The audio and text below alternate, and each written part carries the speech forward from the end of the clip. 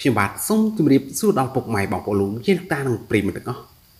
ដែលតែងតែនិយមតាមដានស្ដាប់ព័ត៌មាននិងចំណេះដឹងផ្សេងផ្សេងៗតាមសង្គម YouTube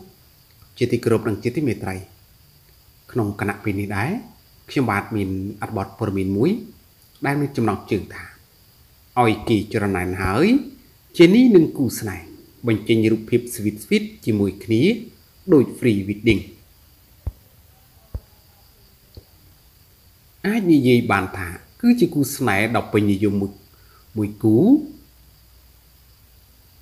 ពីតារាចម្រៀងស្រីវ័យក្មេងជានេះនិងមិត្តប្រុសមន្ត្រីប៉ូលីសបណ្ដោចិត្តមួយរូបដែលតែងតែមានពេលវេលាផ្អែមល្ហែមសម្រាប់ឲ្យអ្នកគ្រប់គ្រងជាច្រើនបានទស្សនានិងធ្វើការតាមដានជាបន្តបន្ទាប់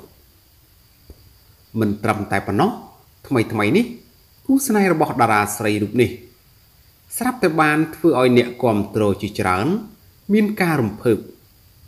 បន្ទាប់ពីបានបង្ហោះរូបភាពជាច្រើនសន្លឹកបង្ហាញពីពេលវេលាដ៏ផ្អែមល្ហែមជាមួយគ្នាក្នុងនោះផងដែរអ្នកទាំងពីរថែមទាំងបានរៀបចំខ្លួនយ៉ាងស្រស់សោភា ជាពិសេសជេននីក៏បានមកជាមួយនឹងរូបពណ៌សវែង ប្រៀបដូចជាកូនក្រមុំដ៏គួរឲ្យចាប់អារម្មណ៍បំផុតម្យ៉ាងវិញទៀតព្រមជាមួយនឹងកាយវិការគៀកកើយយ៉ាងជិតស្និទ្ធនៅក្នុងរូបភាពទាំងនេះ friend friend ជាច្រើនក៏បានចូលមកបញ្ចេញមតិសួរនាំថា នេះគឺជាការថត pre wedding ឬយ៉ាងណានឹងកាន់តែធ្វើឲ្យពួកគេចង់ដឹង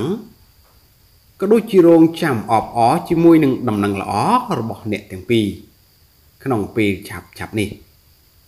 បាទហើយអត្ថបទព័ត៌មាននេះខ្ញុំបាទបានជម្រាបជូនខាងលើនេះក៏មានតែប៉ុណ្ណឹងសូមអរគុណសូមជម្រាបលា